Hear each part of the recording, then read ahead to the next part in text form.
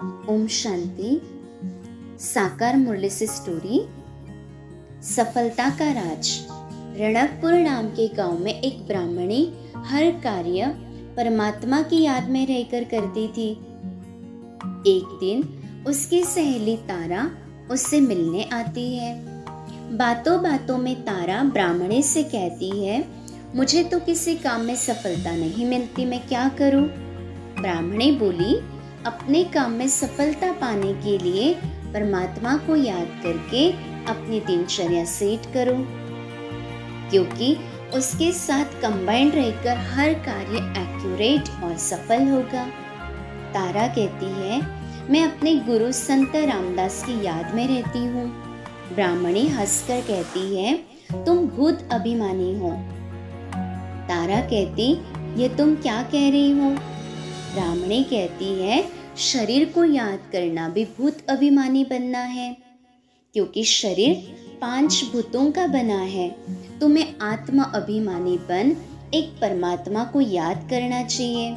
क्योंकि परमात्मा सबसे ऊँचा कार्य करते हैं। तारा कहती, कौन सा कार्य? ब्राह्मणी कहती है, सारी तमो प्रदान दुनिया को सतो प्रदान सुखी बना देते हैं। इस ऊँचे कार्य के कारण उनके यादगार भी बहुत ऊँचे ऊँचे बनाए हैं। तारा उत्सुकता से कहती है, परमात्मा और क्या करते हैं? ब्राह्मणी कहती है, परमात्मा रुद्र ज्ञान यज्ञ रचकर ब्रह्मा द्वारा शूद्रों को ब्राह्मण बनाते हैं। फिर ब्राह्मण देवता और देवता क्षत्रिय बन जाते हैं। इस प्रकार पूज्य और पुजारी दो शब्दों में ड्रामा का राज आ जाता है। जब तुम पूज्य हो, तब पुरुषोत्तम हो। माया फिर पूज्य से पुजारी बना देती है। तारा दुखी होकर कहती, ओहो, गुरु के चक्कर में मैंने अपना समय व्यर्थ किया। ब्राह्मणी कहती है, अब मर जीवा बन पुरानी बातों को बुद्धि से भूल किसी भी देहधारी को याद नहीं करो। परमात्मा के रचे रुद्र ज्ञान यज्ञ में संपूर्ण स्वाहा होकर शूद्रों को ब्राह्मण बनाने की सेवा करो।